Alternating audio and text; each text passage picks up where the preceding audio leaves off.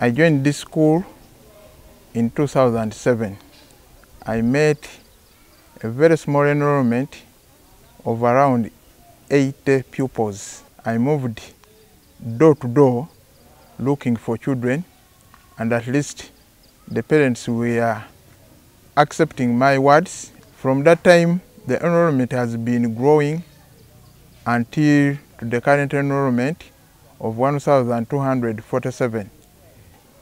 Girls were very few in the school simply because parents were neglecting them, boys around were just coming around the school to convince the girls and take them for marriage.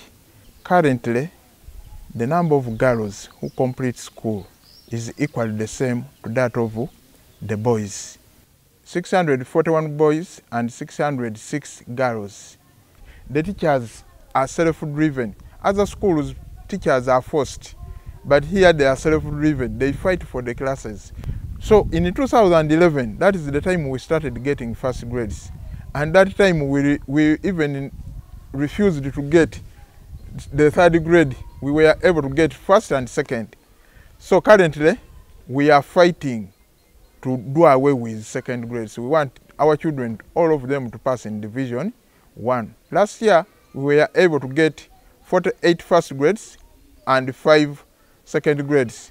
A total of 53 children were registered that year. This year we registered 55. We are hoping all of them to get first grade. It is a UPE school, but due to the, to the devotion of the teachers and the parents, we are able to achieve that. Much as people say that it is only private schools which perform, but for us we are saying even government schools can do what? Can perform.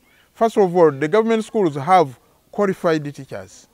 What we call, whatever the children need, they get it to see that we perform to that level of being the best school in the district. Our population could have been gone up to 2,000 children, but simply because when they come, they see their friends sitting on the floor. You find them going to other schools where they find the seats.